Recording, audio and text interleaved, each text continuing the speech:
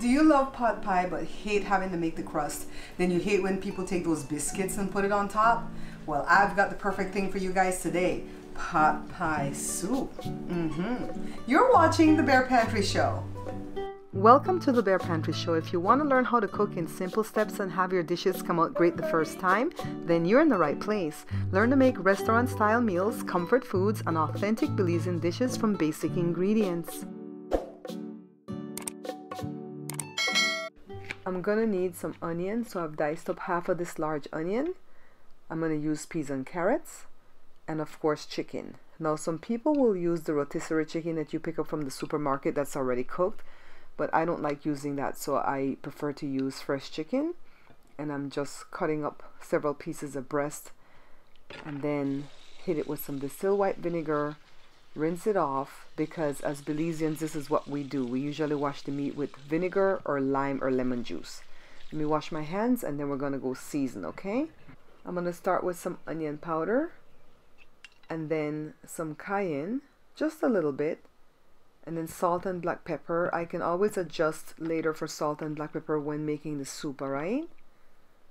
And I'm to use some garlic powder too because I'm not to use minced garlic so this is about two tablespoons of um, canola oil and I'm just to let it come up to temperature and then put the chicken pieces in and then give it a stir don't forget to pick up your books, guys. And thanks to everybody who's been picking up their copies. You can get it at barepantryshow.com.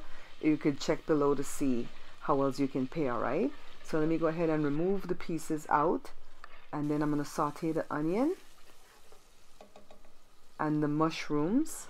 If you are using like celery and stuff like that, you can put that in now, okay? And then I'm to add a quarter cup of all-purpose flour and move pretty quickly because I don't want the flour to get lumpy and then now I'm adding two cups of chicken broth or stock and this is some low sodium chicken broth that I had here in the pantry but you can make your own too okay so half a cup of lactose free milk you can use any milk you have on on hand I use the lactose stuff because I want to eat this soup today and then I'm gonna return the meat to the pot and normally I would just let this simmer before I put the peas and carrots, but I've decided last minute that I want to do potatoes in this because it's a soup after all. So I'm going to add some extra water, one cup, and then I'm going to wash and peel and dice up a potato really quickly. I only put half a cup so far, but I will use the whole cup.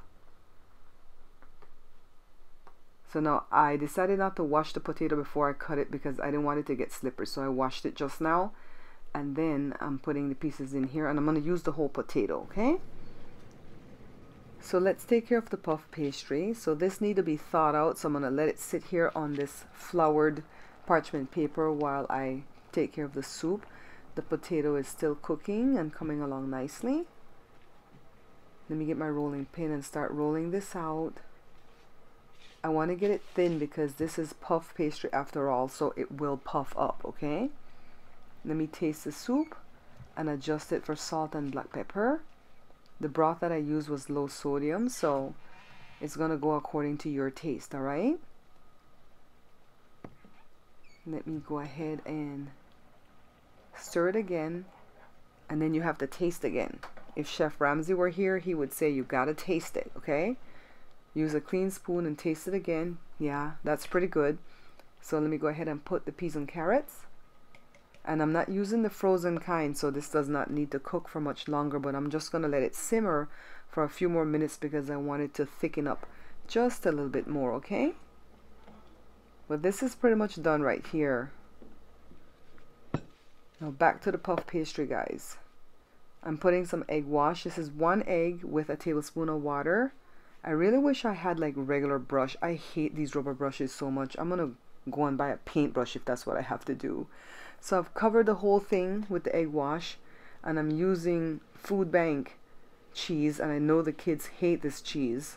So I'm to go get good cheese right here. Parmesan with the Romano. You, you can taste the difference too guys. The cheap stuff you can taste the difference. I'm using basil but you can use any other spice that you like. And I'm just to get it all over. And I'm using this salt from Rocco DiSpirito because I like how the grains are big sprinkle it all over and then grab the pizza wheel we're making the uh, oven come up to 400 Joshua's showing and then just cut it into the sizes you want. I'm going to cut it right here because this is one of the natural cuts that the thing had originally.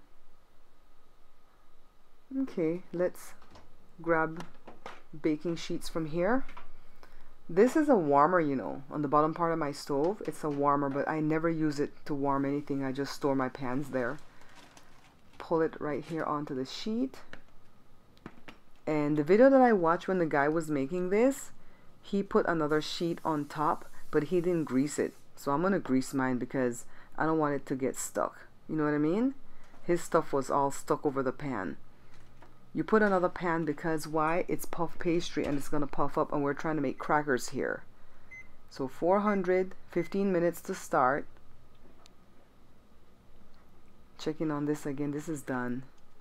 I shut off the stove for that. Now I'm peeking at it at 15 minutes it didn't quite look done to me so I'm giving it five more minutes. Okay so now let me go ahead and remove my top tray. And some of them still look white on the top so I'll stick it back in without the tray on top for like a couple more minutes okay? Now let's do our photo shoot. So Joshua's helping me outside. I'm running camera and beating off house flies so it doesn't get on my food. It's that time of the year again guys come on little mushroom get in this plate let me go ahead and spread it out so it can cover the whole bowl you see my little puff pastry cracker off to the side, guys? It looks so good. Joshua wants to taste. Okay, guys.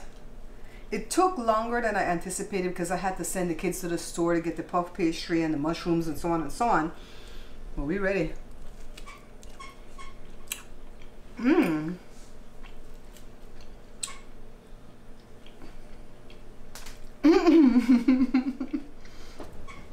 you caught me where I can't even talk.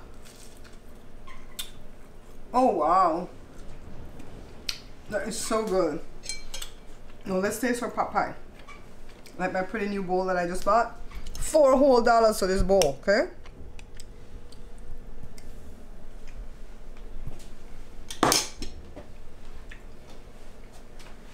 Mm, mm, mm. Try this, guys. It was so delicious. All right? Don't forget to like, subscribe, share, all that good stuff.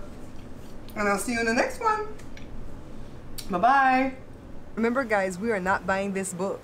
Because if you do, the only people that are making money from that book are my ex-distributor and Amazon. Pick up this book instead. This is my Belizean cookbook. It has 120 authentic Belizean dishes that I've done on the show already, but now you can have it in print so you can follow along and your dishes will come out perfect each time. Hot off the presses, this is my second cookbook, guys. It's called The Pantry Laid Bare, and I named it that because I laid everything on the line when I picked the recipes for this book, all right? 111 delicious dishes from basic ingredients ingredients. To purchase, just check below on any of my videos and you'll see the different methods of payment and also the shipping. Thanks guys! Looks